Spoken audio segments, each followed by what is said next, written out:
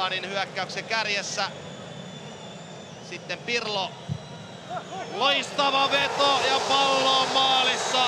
25 minuuttia täynnä, kun Andrea Pirlo täysin vastustamattomasti ja ilman vastustajan häirintää vetäisee aivan uskomattoman hienon vedon vähintään 30 metristä Parman maalin ylänurkkaan. Eikä tämä ole todella, todellakaan ensimmäinen ja tuskipa myöskään viimeinen kerta, kuin, kun Pirlolta näitä pommeja nähdään. Uskomattoman hieno osuma pallon. Tässä uudestaan 40 metriä taitaa olla matkaa maaliin.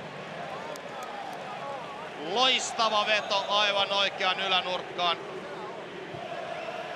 Ja katsokaa tuota osumaa. Ja lähes kierteetön pallo. Tässä vielä saamme ihailla Pirlon aivan täydellistä kaukolaukausta.